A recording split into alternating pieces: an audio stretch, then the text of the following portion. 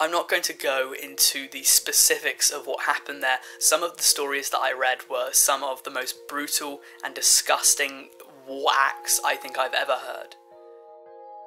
After such a positive response to my Japanese folklore and urban legends video, I knew that I just had to follow it up. We're heading south of Tokyo today, and I'm going to be explaining some of the Philippines' darkest, creepiest, and most weird myths, urban legends, and folklore. Let's get into things, shall we? This is the Philippines Folklore and Urban Legends Iceberg Explained. If you don't know what an iceberg is, by the way, it is a list type video with more general knowledge and light-hearted facts at the start of the video, and as it progresses, it'll get more obscure and dark. First up then, why do pineapples have so many eyes? This is actually a Filipino folktale of how pineapples came to be, and the story goes like this. There was once a girl called Pina who lived out on a plantation with her mother. While her mother was very hardworking, when it came to chores, Pina was a bit lazy and procrastinated a lot. She wanted to play and usually said she couldn't find the equipment to do her chores. One day, her mother told her to get her shoes from under their hut, but when Pina went there, she found her old doll and started playing with it. Her mum came to check on her, but when she said she couldn't find her shoes, her mother replied with, May you grow a thousand eyes. And then, Pina mysteriously disappeared. People from around the area went to search for her, but to no avail.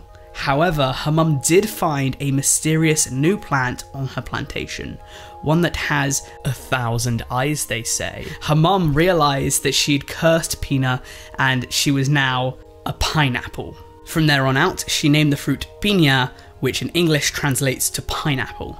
Very peculiar urban legend, more of a fable than anything. And yeah, it's just so different to what we have here, which is why I want to do this video because their stories are so different and unique, and we just don't hear them over here. So Manila is the capital of Philippines and it has a population of 1.78 million people. And Manila City Hall is the official seat of government for the city of Manila. Cool thing about it, some people think that it looks like a coffin. I personally think that it might look like something else, but maybe I just have a dirty mind. Its shape, however, is not modelled after a coffin, but actually from the Knights Templar, which symbolises the Catholic Church. Still, a coffin shaped city hall, mildly interesting, but we still have way more cool stuff yet to come. We have another Filipino fable here. It is the story of the monkey and the turtle. Monkey. It's light-hearted, it's told to kids, and it's at the top of the iceberg. So the story goes like this. There was a turtle and a monkey that were walking along one day as they saw a banana tree floating down the river. The monkey spotted it and so said that he would have the large trunk of the tree and he gave the turtle the small roots. The two then went their separate ways and planted their trees, and while the monkeys died, the turtles had actually grown, having a bunch of bananas on top. He then went to the monkey to ask him to help get the bananas down, being a turtle that's hard for him. But once the monkey climbed the tree, he greedily ate all of the bananas, and so the turtle wanted revenge. To enact his revenge plans, he placed thorns at the bottom of the tree that hurt the monkey as he got down. Wanting his own vengeance now, the monkey went to literally murder the turtle. And the turtle was like, no, do anything but throw me into the sea. And then the monkey was like, you you shouldn't have told me that, mate. But then, once he threw the turtle into the sea, he was shocked to find out that turtles actually swim, and the turtle had masterminded the entire situation, minus getting his banana stolen. Moral of the story don't be a dick to someone who has shown you kindness, it's elementary. Instant noodle wax. This is a bit of Filipino culture here, and there is a rumour that instant noodles, a student's best friend, actually have a layer of wax on them. Apparently, in some tellings of this rumour, this wax can cause cancer. They say this because of how the noodles are compact when they get out of the packet, but then they separate in water. And this happens because the wax melts. Many times, people say that if you have some noodles, you have to wait at least two or three days to have some more. So if you get a packet of like five things of noodles, you can have some on Monday, but then you can't have any more till Thursday or Friday. This legend dates back to the year 2000, and according to an article I read about this, there is no evidence that supports the claim, it is just an urban legend. Leaving your slippers outside, this one is a bit darker, as is the iceberg chart. Again, as we go along, things are going to get darker and darker. So you had to keep on watching for that. The idea is that some people in the Philippines back in the 90s believed that if you leave your slippers out at night, you would be killed by a member of a cult. This story spread around children's conversations like wildfire and acted as a deterrent for them to leave their flip flops outside after they're done playing. Now, some describe these cult members as Satanists that are looking for people to sacrifice, and they see the slippers as a mark and kill those that they belong to. Funnily enough, the site I read this from ended with the statement, maybe they have a fetish. You never know. Tabi Tabi Po. This is a Filipino phrase that in English translates to excuse me or may I pass. And it's most commonly said when a person goes to a place that's said to be inhabited by ghosts or goblins. It's said that if a person does not say Tabi Tabi Po when entering a location where these creatures are, there will be brutal and unforgiving consequences. So, yeah, it is a simple phrase if you're ever in the Philippines and you go to a place that might be haunted or you might be engaging with mythological creatures, it's a good phrase to know. The idea of the aswang is much more down the cryptid alley of things than anything I've covered so far. The word aswang is a umbrella term for a shape-shifting creature. Now, from what I found online, there seems to be five major flavours of aswang. Those being witch, vampire, ghoul, viscera sucker, and were-dog. Now, I'm sure you've heard of the first three, and were-dog is actually the Filipino version of werewolf, which I've only just found out actually that the were creature is different depending on the continent and country. Like Africa has were leopards, and Russia has were bears, but that is off topic. The one I really want to focus on is the Viscera sucker because it is quite distinct to the Philippines. In the country, they're also known as Manananggal, and they look like this. By the way, apologies if I mispronounce anything in this video, I don't intend to, but these words are not native to me, so I believe I got Manananggal correct, but in the future, I am going to be probably mispronouncing a lot of stuff.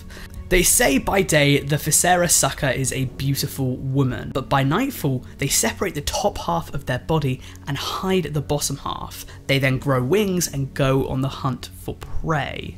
It's said that they particularly crave fetuses. Yum? Most of these infiltrate human communities by the sanctity of marriage, so if you're from the Philippines and you have a beautiful wife, watch out if she sneaks off at night because she might be a sucker. The crab mentality, this one has much more of a simple explanation to things, and it isn't as much of an urban legend as much as it is a saying or a custom, even if it is not a welcomed one. Long story short, crab mentality in Filipino culture is said to pull others that are succeeding down.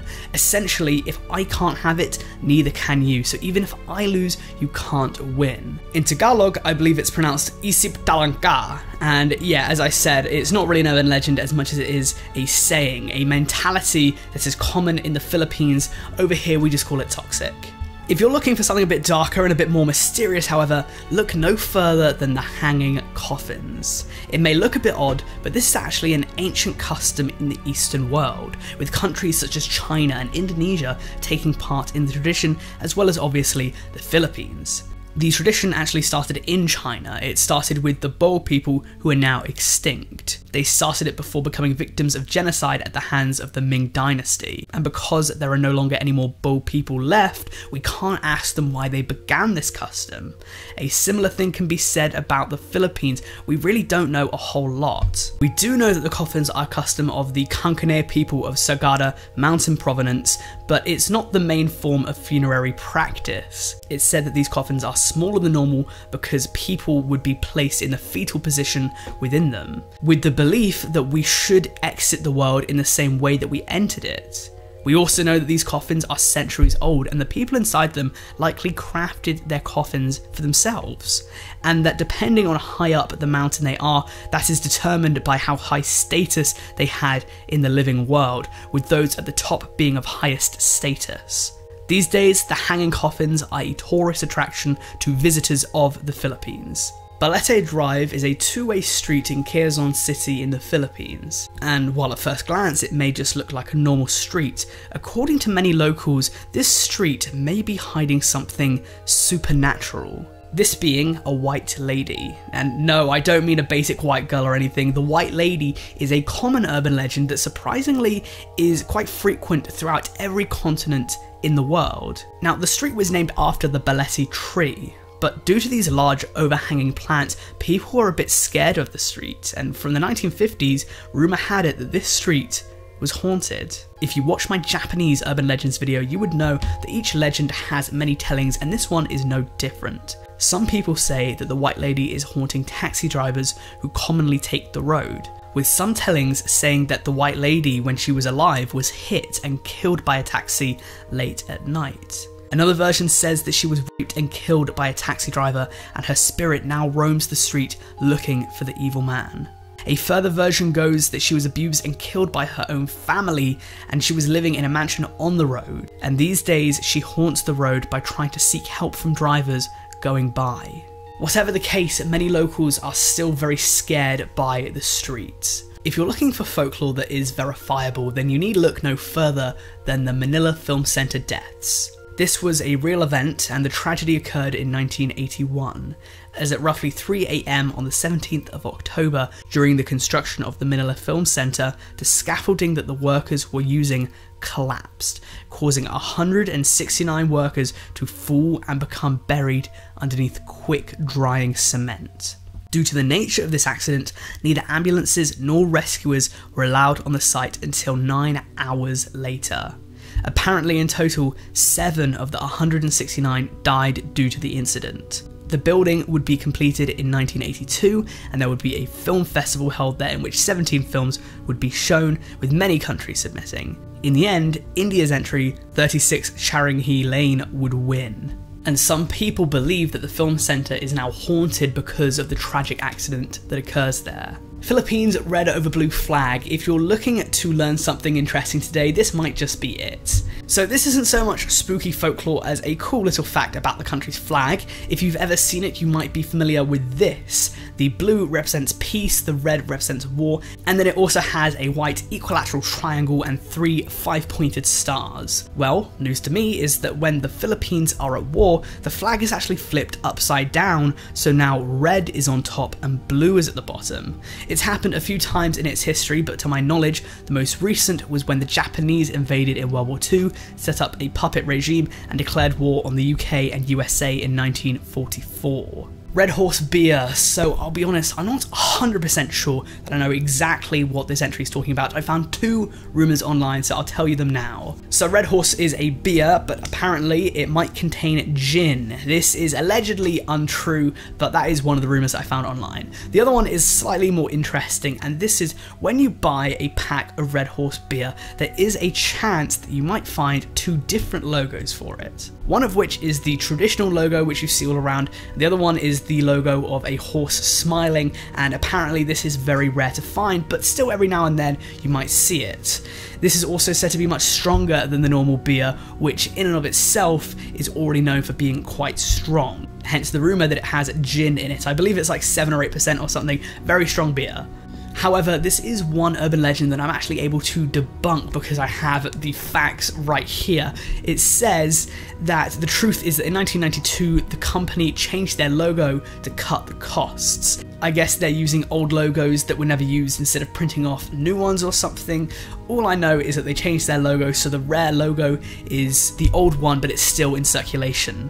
So, I love Chinese takeaway. I understand that it's not the food that they eat in China, but man, Chinese takeaway hits different, man.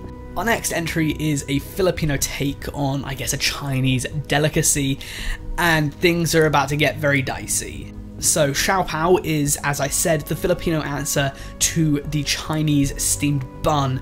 And yet, there is this old urban legend that Shio Pao is made of cat meat due to the cheapness of the food and also down to xenophobia, or in other words, racism against the Chinese. I'm not gonna go any further into that, it's just a thing.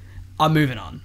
When it comes to lost cities, I know over here, definitely by far Atlantis is the most commonly spoken about. The ones that are like mythological and we don't really know if they existed definitely Atlantis. But if you head over to the Philippines, you might hear about another lost city called Biringan. Allegedly, this is an otherworldly place filled with Encantos, and Encantos happen to be mythical environmental spirits such as sirens, elves, and dark beings that are associated with the spirits of ancestors in Filipino culture. People who have seen it report a place of unparalleled magnificence and architecture, not even being matched by megacities such as New York or Hong Kong.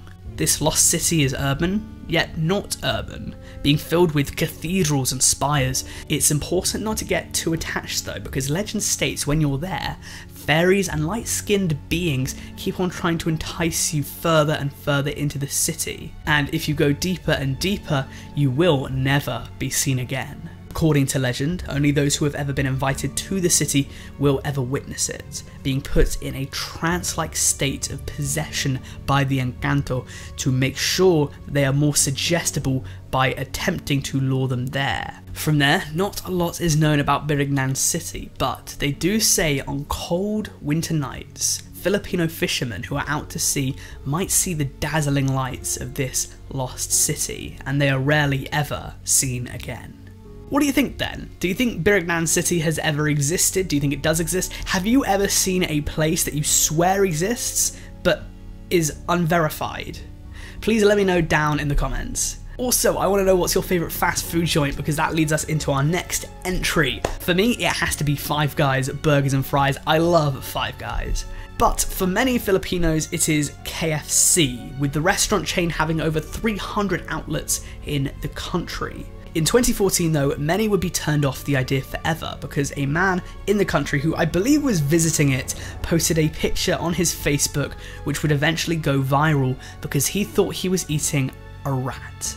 That's right, there was a rumour that went around a few years ago that KFC was serving vermin to its customers. In fairness, the picture that was taken does look like a deep fried rat. KFC bosses told the Mirror that an investigation found no evidence to support this claim. However, they did not confirm what the food was made of, so maybe it was just a large mouse or something. Still, the question has to be asked what is the deal with foreign countries and having KFC as a part of their urban legends and folklore? Also, I should mention that eventually they did do a DNA test and it was chicken all along. Now, it has to be said that basically every country in the world is going to have its criminal underbellies, and the Philippines is no different. The Ativan gang is definitely an example of this. For many years, people did not think that these guys existed. People just thought that they might have been an urban legend, but as it turns out, this urban legend is very much real. I believe that people thought that they were a hoax because of some sort of email spam, but according to sources, the Ativan gang is actually one of the Philippines' oldest gangs, and their way of taking advantage of victims is very clever. Filipinos are known for their hospitality, they tend to be very kind and courteous towards tourists, and the Ativan gang will take advantage of this. They will invite tourists they meet for some food and drink, and once the tourist takes the bait, they will drug them with Ativan, also known as Lorazepam, and they will rob you, leaving you alone somewhere. To initiate this, you're often approached by a beautiful woman, and she's there to let your guard down, and that is when they will strike. Apparently, these guys robbed a 52 year old Belgian woman who visited the country in 2012, with 15,000 euros being robbed from her. Luckily, the police were able to identify the perpetrator, so I think she might have got her money back. It didn't really say the article that I found, but according to legend, these guys are some of the most well oiled criminals the Philippines has to offer. From one criminal group to another, the Davao Death Squad is the next thing I want to talk about. This is a vigilante gang based in, as the name would suggest, Davao City. The group is alleged to have conducted summary executions of street children and individuals suspected of petty crimes and drug dealing. Summary executions, by the way, are executions without fair trial or evidence. It's estimated that between 1998 and 2008, in a 10 year period, these guys were responsible for the deaths and disappearances of over 1,000 people. This is where the folklore comes in, however, and I really don't want to overstep here because I really don't know much about the Filipino political system, but it is said that their current president right now, Rodrigo Duterte, who is massively anti drug, actually has something to do with this. Currently, he is conducting one of the most brutal wars on drugs the world has ever seen, and as it turns out, he was the mayor of Davao City for the majority of when the death squad was active. The question is was he allowing a group of vigilantes to go out and kill people that were deemed to be drug users and suppliers? The now president says that if you're conducting illegal activities, you are marked for death. So, little conspiracy theory here were they active under the orders of this man? Did he allow hundreds and thousands to die? As of January 2020, the International Criminal Court confirmed that an investigation into Duterte's involvement with the death squads was ongoing. The Filipino cooking creation story. This one is very distinct. I'm sure everyone knows the uh, creation story. At least the one in the West goes that God made Adam and Eve, and then those two had two sons and then somehow populated the rest of the earth. Doesn't make any sense. The Filipino cooking creation story is a bit different, and it's definitely got a lesson or a moral, so I'll tell you now, and you can be the judge of what that is. So it's said that God had some clay and he moulded it into his own image, putting it in the oven to cook. However, he was too excited to make humanity, so he took it out early and it came out very pale with light hair and eyes. Still, he loved it. He then created another sculpture, put it in the oven, and this one he was a bit more cautious of taking it out too early this time. So when he did take it out, its hair was curly and brittle, its lips had been thickened from the heat, and it almost appeared burnt when it got out. But still, he gave it the breath of life and placed it next to the first man, loving him just equally as much. Then he put a third in the oven, but was more cautious than the first attempt, but he was a bit more hasty than the second attempt, with this creation turning as a golden brown. He then gave it the breath of life, loved it just as much as the rest, and from there he made many others throughout the years, and regardless of the colour, the story says that he loves them all. We're delving more into cryptids for this next one, and of all the cryptids I have ever covered, this one might be my favourite. His name is the Tambaloslos. He is found in the Bicolano and Mindanao culture's folklore and is believed to confuse and misguide people, making them lose their way or go around in circles, sometimes chasing them around. The only way they say to escape him is to take off your clothes and wear them inside out. But here's the twist though. This thing is absolutely hung. I mean, I found this picture online already blurred, and look at the amount of pixels, man. This demon has a huge donk. He's putting us all to shame. Mount Banahaw is located in the south of Luzon, the largest island in the Philippines. And what makes this mountain so interesting is that some people believe that it is home to the supernatural. You see, legend states that this mountain has not only been visited by Jesus Christ himself, but was also the site of many alien abductions, with many hikers allegedly going missing on the mountain. With a mythical aura surrounding the mountain, many vendors nearby will sell amulets and magical herbs to ward off evil spirits. Whatever the answer to these mysteries of the enigmatic mountain, one thing is for sure many people believe that there's something just off about this place. To any Filipinos watching, I have a confession to make, an apology almost.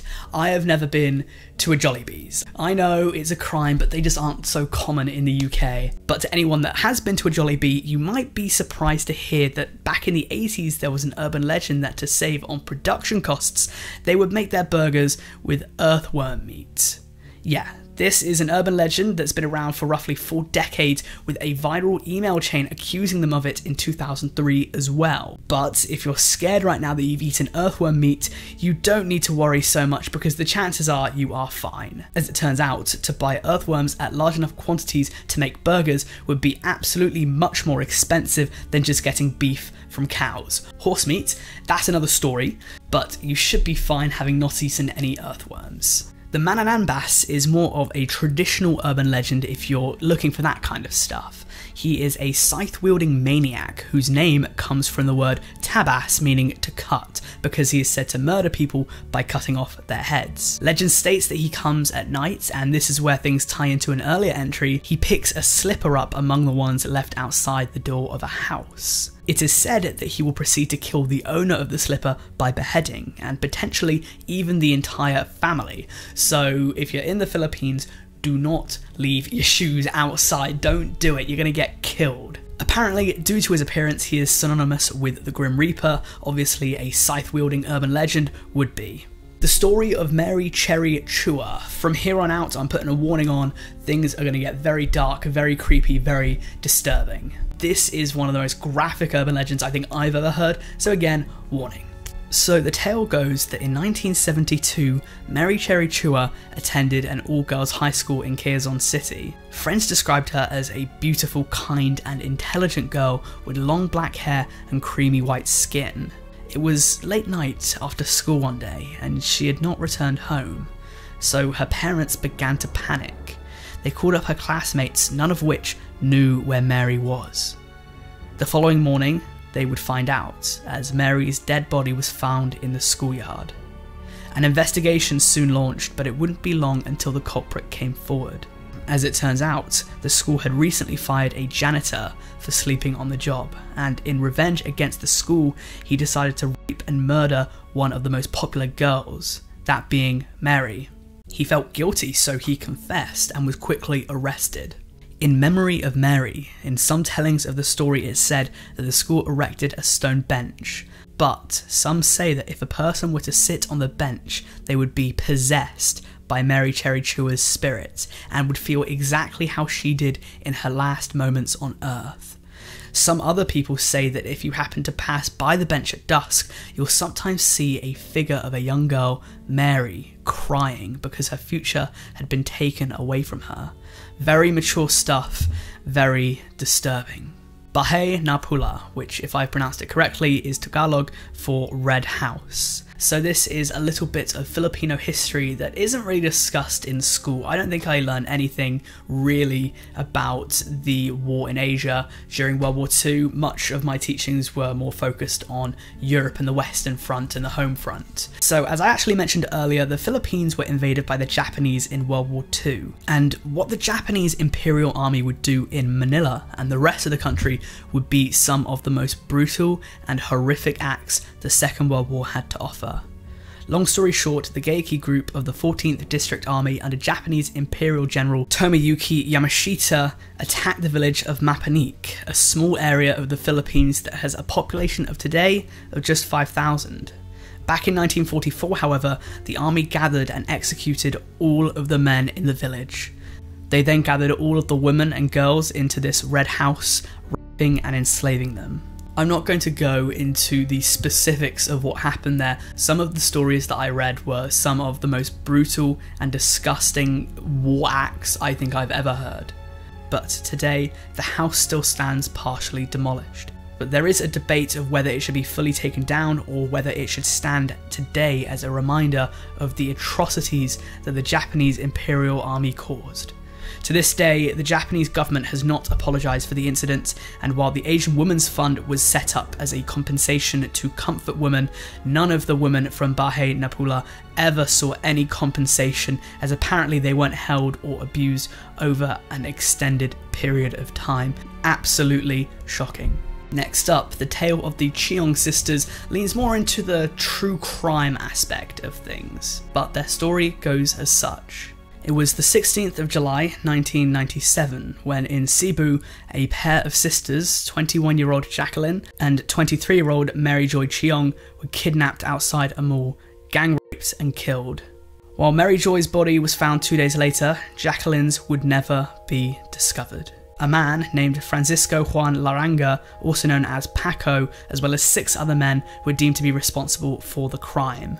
All of the perpetrators, minus one that was still legally a minor at the time, were sentenced to death for the incident. But here are where things took a bit of a turn. So, when researching the case, Larrañaga's name is plastered everywhere. As it turns out, he is a Spanish citizen, and allegedly killing him in the Philippines would be a breach of international law, and so Laranga was sent back to Spain to carry out his sentence. More interestingly to me, though, is that there's a lot of people that claim Larrañaga could not have been involved in the murders. Apparently, he was in Manila the night the two girls were abducted, and there's an entire documentary trying to prove his innocence. Whether or not he was, I couldn't possibly say.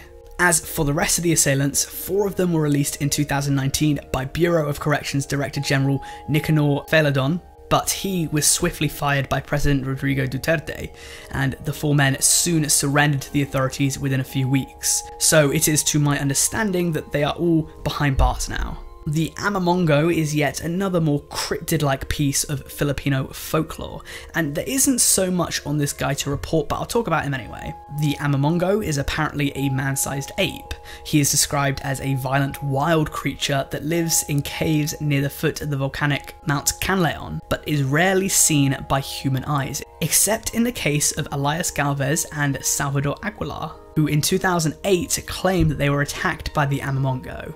However, scientists are quite skeptical at their claims. For all intents and purposes, this guy, if I am correct in saying, is Filipino Bigfoot basically, and so if you believe in the Bigfoot or the Yeti, he might sound plausible, otherwise he might sound a bit far-fetched. I don't know if you're superstitious, but if you are, have you ever heard of the possession of Clarita Villanueva? If not, you might become a bit more after hearing it. So, in May 1953, a 17 year old girl was brought to Manila City Jail charged with vagrancy, which is, to my understanding, essentially homelessness, maybe. She came to Manila after her mother died. Her mother never knew her father, but Clarita thought that he may have been in the country's capital. There, she would solicit men, but she was caught by a plainclothes officer that she had offered her services to. Over the next few days in jail, she began to tell tales of seeing things that nobody else could, and her stay behind bars turned from mundane to hellish. She would get attacked by things that were supposedly invisible, screaming hysterics and passing out when encountering them. However, it was the mysterious bite marks that caught the attention of those guarding her. She was being attacked by what she called an invisible vampire, it was roughly nine days after she was first brought in, the 19th of May, when she spoke to a pastor that came to visit her. She claimed that she had a deep hatred of God, making several further blasphemous statements. The city's mayor then came to visit her days later, and he claimed that he saw bite marks appear out of nowhere on the victim's hands. And while some people thought that there was a logical explanation to this story, others were convinced that this phenomenon defied scientific explanation. To put an end to this madness, they eventually performed an exorcism on the young woman and the evil spirits were chased away. And if you've clicked on this video, you might have done it because of this next entry. The Orie Chef. I had to talk about her here. So a lot of you were waiting for it. Here it is. If you don't know Orie Chef, she is an internet urban legend, and her story began spreading around Facebook. So, what is this story, you might be asking? Well, it's said that Orie Chef is a cannibalistic woman who loves to eat children. It all started back in 2018, even though her account had been allegedly active since 2015. So, this account, when found, only had herself as a friend. And by this I mean that she did have friends on the account, but the only friends to this account were other accounts by the name Orie Chef, or one of her aliases, which included Marjorie Chef, among others. Now, when looking up this account, many people have reported seeing very graphic, oftentimes gory images, something very peculiar, especially for Facebook. Now, an explanation for this is that apparently she was hacked, but this is unconfirmed, as is another explanation that apparently another 4chan user got into contact with Orie Chef, who explained that the accounts were created because of Facebook video games. The problem here, though, is that finding accounts created by the true Orie Chef in the middle of this wave of fake accounts is very tough. And the more people on the internet that learn about the legend of Orie Chef, the more people that make accounts about her, thus planting yet another tree into the already vast forest of confusion and misguidings. Some of the Orie Chef accounts have been said to contain some horrendous, indeed extremely creepy things, sharing some horrific stories and deep desires. But to try and uncover a kernel of truth here is simply very difficult. And so, the true story of Orie Chef, why this is a thing in the first place, is a difficult question to answer, and we may never have a solution to this problem.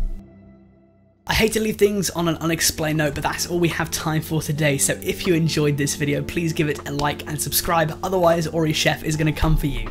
Other than that, please let me know down in the comments what you'd like to see me do next because I'm only 107 videos in and I'm already out of ideas.